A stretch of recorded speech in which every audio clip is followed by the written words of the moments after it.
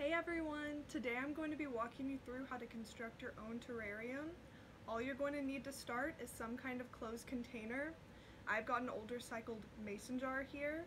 Um, this project is a great opportunity to repurpose old um, containers like this, um, glass or plastic. You can use old um, plastic water bottles.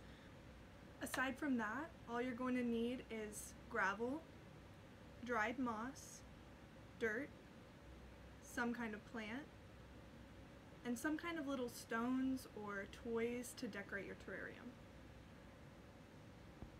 Now traditionally succulents or cactuses aren't great for a closed terrarium just because it's so humid and moist in there. Um, but I've had success with it in the past so I'm going to give it a try. Um, but I'll list some other plants that might be better alternatives for you to stick with for your first try.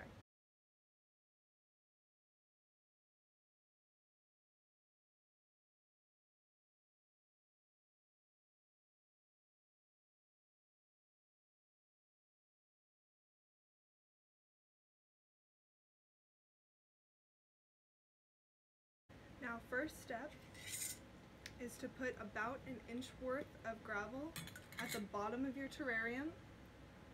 I've got mine here. You're just gonna dump it in there. And this provides kind of a good drainage system for the water in your terrarium. Next, I'm going to put in some dried moss. Now this step is optional. It kind of provides a good um, barrier between the soil and the gravel and it also just looks cool but it's definitely not necessary if you can't get your hands on any just stick with the gravel and the dirt. Now I'm just going to take a spoon to kind of mash that moss in there get it all packed in tight so we can have some clean layers in our terrarium. Now next I'm going to start spooning um, the dirt into the terrarium. You're gonna want to fill it up about halfway but I'll kind of show you when I'm finished putting it in there what it looks like. Now as you can see I've got it roughly halfway full and I kind of used my spoon again to um, make sure it's nice and tight in there. Not too packed in, um, but just a little bit. Okay, now next I'm going to be putting my plants in. I like to use chopsticks for this part. It kind of helps you get in there, moving the dirt around, creating a little hole for your plant and then you're just going to stick it down in there. And then again use the chopsticks to move the dirt back into place. Make sure it's all in there. Okay and now for my succulent I'm just going to do the same thing again. Make a little hole to put the roots down into. And then stick it in there. Poke it all down and put the dirt back into place Okay, so I just went and grabbed a few things to put in my terrarium.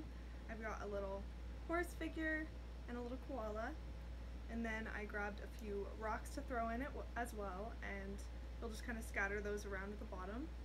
Okay, so next I'm just going to pour some water in. You're going to want to pour enough in to where it would take up about half of where the gravel was, about half an inch. Um, and you should never have to water it again after this. You'll put the lid on seal it tight and it should um, keep the moisture going on its own and you should never have to open it up again. Okay, here we go. Just gonna pour a little bit in and let it trickle down there. Okay, so I don't know that you'll be able to see, but I've got about half an inch of water there. And so then I'm just going to screw on my lid.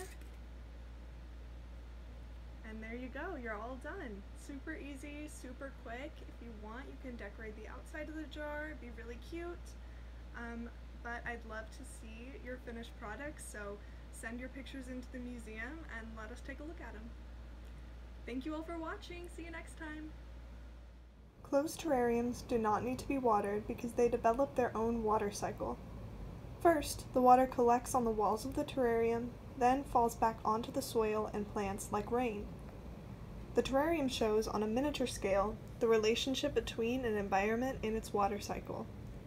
The Oklahoma State Museum of Art currently has on display an exhibit titled The State We're in Water, which centers around that relationship on a larger scale.